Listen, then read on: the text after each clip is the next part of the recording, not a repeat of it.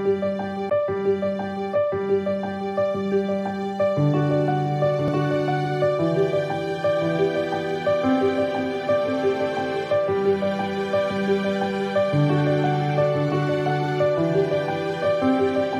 Recycling Lab was created as a project at Makers Asylum with the Xynteo team and NGL team sort of worked together on creating a lab which is non-mobile to uh, recycle waste. Over here you have the washing component where a child can come together and use the water to be able to wash his pots and his plastic and once he's done with washing the same he can dry it using the dryer and blow dry his pieces.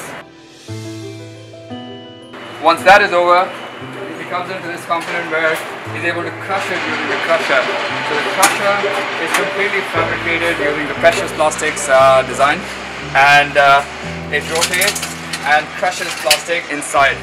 Once you have the crushed plastic, you take the same, you put it inside the extruder and where it gets extruded into a filament that comes out of here.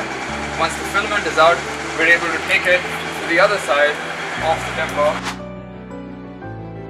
we're able to use the 3D printer and various 3D prints to be able to create 3D products to display and showcase how plastic can recycle and complete its full journey.